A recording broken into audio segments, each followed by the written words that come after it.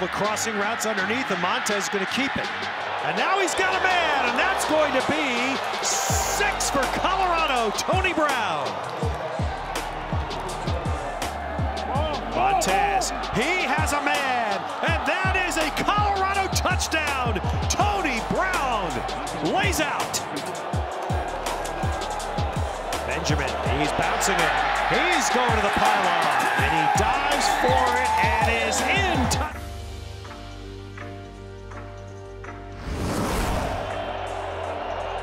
Brown. Brown's got it! Third time tonight!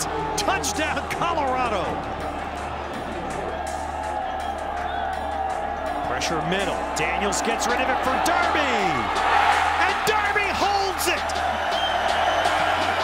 And Stefanou smacks it through, and Colorado has the lead. 2.03 to play.